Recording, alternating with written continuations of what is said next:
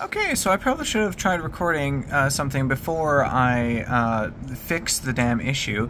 But anyway, uh, Windows. Uh, my Control V just completely stopped freaking working. It was working completely freaking fine five minutes ago, and then I go to try and copy paste something again and it's just completely broken. It does not work. And so what do i do? I slam my keyboard and, and eat all the keys because usually that seems to fucking fix things at least it has in the past on windows 7 when when keys would get stuck and shit like that. That has never worked with windows 11 apparently.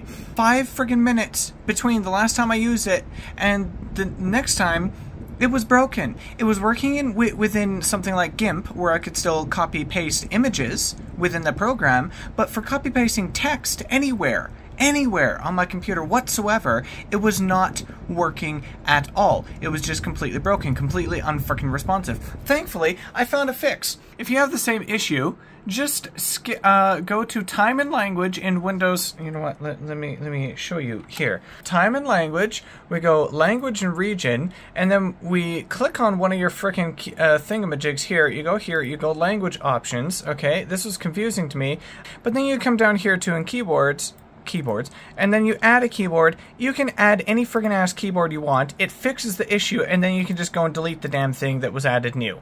And then it's frickin' fine. Why is this a thing? Because Windows is the most retarded operating system in existence.